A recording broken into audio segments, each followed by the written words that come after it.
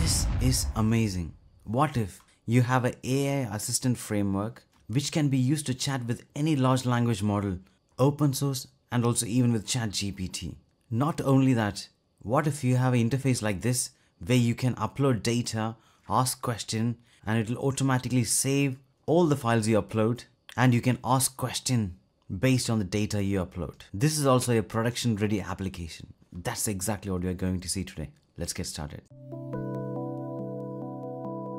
Hi everyone, I'm really excited to show you about Cheshire Cat, the production ready AI assistant framework. You can also customize this using APIs. I'm going to take you through step by step on how to do that. But before that, I regularly create videos in regards to artificial intelligence on my YouTube channel, so do subscribe and stay tuned. As a prerequisite, you need Docker installed on your computer, which you can download from docker.com. The next step is type docker run hyphen hyphen rm hyphen it hyphen p then enter the port number, then Cheshire Cat AI, the core latest.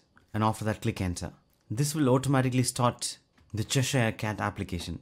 You can navigate to these URLs. First, we are going to the admin portal to set the large language model. I am in the admin portal now. So now if you ask any question, it won't respond because we need to configure the large language model. So what I'm going to do is go to the settings tab, click on the large language model. Here you can choose whatever model you want to use. Today we are going to use OpenAI ChatGPT, but in the upcoming videos I'll be covering more large language models. Just choose OpenAI ChatGPT and enter your OpenAI API key here and click the save button. Large language model provider updated successfully. Now we're going to configure the embedder. Go there, same as we entered our OpenAI API key, enter that here as well and click save. Now we have added the embedder as well. Embedder is used for storing or uploaded data. So now coming to the home page, we're going to type what is your base model. I'm an AI model developed by OpenAI called GPT-3. That's good. This can remember your previous chat history. So I'm going to ask, list all my previous questions. It didn't answer properly. I'm going to ask, give me the what, what were we discussing about? You initially asked about my base model. Then you inquired about listing your previous questions. So yeah, it answered properly. I want to show a few features if you click this icon, you can export your conversation, you can upload memories, you can upload URL, you can upload a file, and then have a conversation based on that. Now I'm going to start with upload file. I uploaded a R-Car2 paper. Now the embedding will start happening in the background. That you can see in the memory tab. Click on that. You can see the number getting increased. Now it's 100, 104.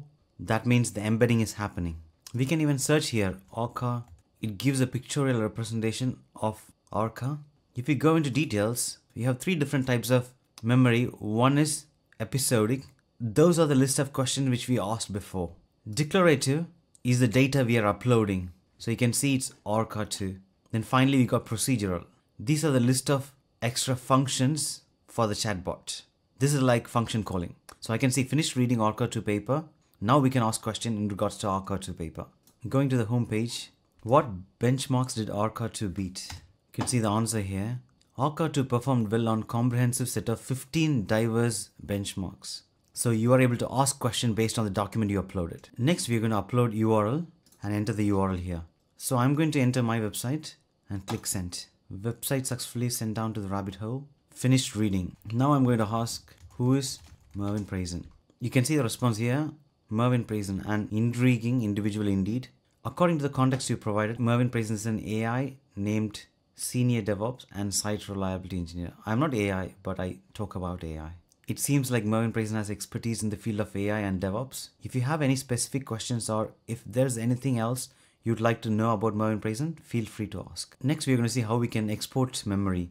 Click the memory tab. There you have export memories. Click on that and it will automatically download the memory. You can even import the memory by clicking this in this way, you don't need to embed every single time if you're planning to upload the same document. Next, we are going to see plugins. This is really a good feature where you can add extra functionality to this application. You can even create your own plugin. All the information regarding how to create a plugin is in the documentation page, but now we're going to install few plugins and see how it's working. If you click this button, you can see all the list of plugins. I'm going to install Cat Eyes. In this way, you can analyze image using OpenAI Vision API. I'm going to install this. It's installing. Now it got installed. I'm going to list all the installed plugins. Now I'm going to click this icon and set the settings. As soon as you click that, you need to enter your OpenAI API key. Enter that here and click the save button. Now it got saved. This is the image I'm going to upload. So I'm going to clear the conversation, then enter the same URL.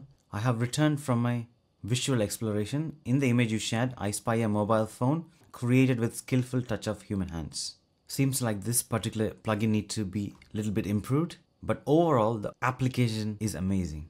Still you got many different plugins to try and test. Next coming to the API, if you navigate to this URL, you should be able to get your API endpoints. So here is the API endpoint. You can use all these APIs to customize your application. That's it, as simple as that. Now you can deploy a production ready AI assistant framework and configure it based on your needs. I'm going to create more videos similar to this. I hope you like this video. Do like, share and subscribe and thanks for watching.